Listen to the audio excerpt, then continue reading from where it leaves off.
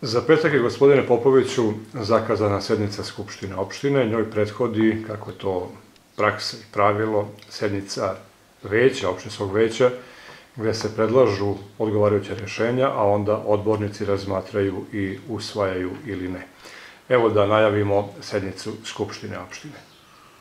Tačno je, znači petak sa početkom u 9 časova je zakazana sednica Skupštine opštine. Tačno je da veće, pretpostavljam da će biti u sredu, da je zakazano za sredu i da je već jedan filter koji prvo razmatra sve te tačke dnevnog reda, zatim od tih tačaka predlaži ili vrši neku izmenu po njihovome ovaj, načinu razmišljanja i to ide na Skupštinu. Skupština sad to možda prihvati, možda ne prihvati, možda ima sasvim neko drugo ili treće rešenje, a, a to ćemo vidjeti na samoj Skupštini kako će da se to odvija.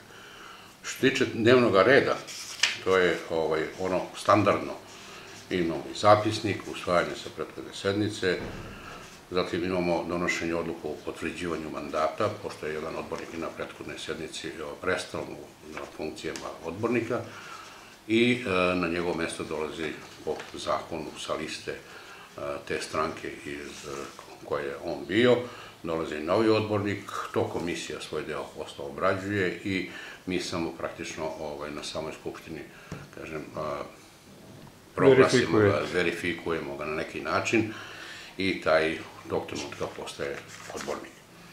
Zatim imamo odluku o završnom računu budžeta opštine Pirot za 2014. godinu, kao i svake godine u nekom ovom periodu taj e, završni račun e, ide na skupštinu i on se usvaja, tako da ćemo i ove godine praktično to uraditi, jer to je godina iza nas, što je bilo, bilo je, što je urađeno, urađeno, na to se više ne treba vraćati. Sigurno možda bude diskusija koje su, da kažem, svouparne i diskusije koje su bez, možda i bespotrebne, ali verovatno će biti i takvih diskusija. Međutim, e, bez obzira na sve to, znači mi ćemo gledati da usvojimo to što je bitno po zakonu da ovaj, to završimo. Zatim imamo izmenu i dopunu odluke o budžetu ili drugačije rečeno rebalans. To su sad e, razna sredstva koja se mogu, mogu da kažem da su sa jedne pozicije prebacuju se na drugu poziciju, jer znate kako je ovaj, prilikom planiranja, pa kažemo sad za ovo je potrebno toliko i toliko sredstava i to se isplanira i to se sve pozicionira i onda vidite da se možda e, potrošnja javlja na nekoj drugoj poziciji više nego što je e, planirana ili je veća potreba, na nekoj manje, sad i to se na neki način usaglašava. To se isto dešava i kod javnih prezeća, ustanova i tako dalje, jer e, zakon o budžetu je takav da on traži plan, a taj plan znači podrazumeva da se sve prvo donese odluka, da se ovaj, ide u tu papirologiju, pa onda tek može da dođe primjena svega toga. Znači, to je i ovog puta. Zatim imamo strategiju, strategiju održivog razvoja opštine Pirot, koja je 2015-2020. godine. Tu je pitanje e, jedne kuće koja je to obrađivala, radila. Sagledano je sve ono što je potrebno za jednu opštinu i mislim da ćemo to sad pristupiti u usvajanju te strategije. Isto imamo dopunu statuta opštine Pirot, to su neke sad novije verzije zakonske koje bi trebalo da se usklade. Zatim odluku o izmenama i dopunama, dopunama plana detaljne regulacije logistički centar. To je deo gde je stara deponija, odnosno smetlište. U tom delu je bilo predviđeno da se deo deponije sklanja. To je sad e, drugačije rešeno, koridori su to drugačije rešavali Tako da sad taj deo moramo da preinačimo, odnosno da ga uvrstimo u neke druge potrebe koje će biti za, za tu opštinu, jer to gde smo predvideli zemlj, to džubre, da kažem, da sklanjamo, znači više nećemo sklanjati na tome, deponiju ćemo staru da ovaj, zatvorimo i da na tom zemljištu koje je bilo predviđeno za sklanjanje, da nešto drugo opredelimo za neke možda investicije i i vidjet ćemo sve šta je moguće. Zatim odluku o izmenom i dopunu odluku o doprinosima za uređenje građanskog zemljišta, mislim da tu neće doći do nikakvog povećanja, već usklađivanje sa ovaj, nekim zakonskim odrebama. Odluku o izmenom i dopunu odluku o vodovodu i kanalizaciji isto je i to u pitanju usklađivanje, zatim odluka o davanju saglasnosti na i usvajanju projekta javno-privatnog partnerstva, imamo to u pitanju škole, koje su se do sada ovaj, grele na, na drvo, uголje, ne znam nija koja je sve goriva.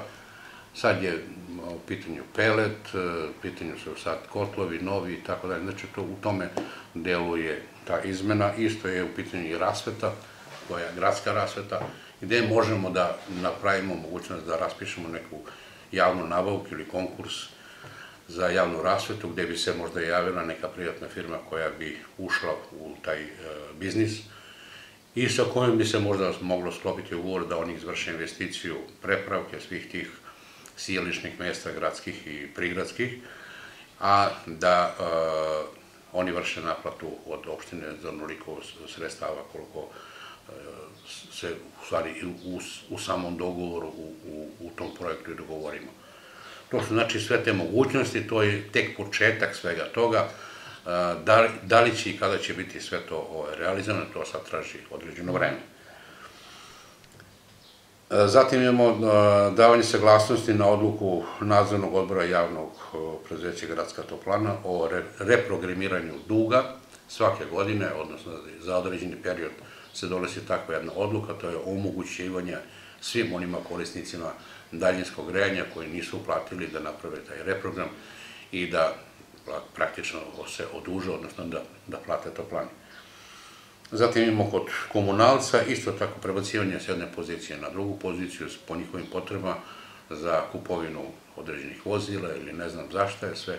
Znači, to su te stvari koje ćemo sada, više tehničke stvari, da rešavamo, izuzev, kažem, možda ove prve dve, tri tačke gde je budžet u pitanju, a ovo je sve po meni jedan sasvim normalan, normalna potreba za rad Skupštine u daljim periodu, recimo Radio Pirot, tu je pitanje privatizacija, bile su izvršene određene procene Radio Pirota kao vrednosti za prodaju, to je bilo negde oko 9 miliona, pa su vršene nove procene i došlo se do saznanja da su te procene sad daleko manje, znači zainteresovani koji su za kupovinu radio pirota imaće mogućnosti da to vide i da, da, da ovaj, možda to lakše se realizuje, odnosno da se kupi.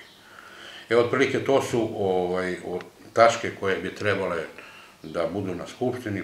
Pored ovoga svega ima razrešenje i imenovanje. Tu su odbori, raznorazni školski, ovakvi, upravni, i, i tako dalje, po zahtevima e, javnih preduzeća, ustanova, škola i svih ovih koji su korisnici budžeta, pa ćemo to gledati da realizujemo kako je to i do sada bilo.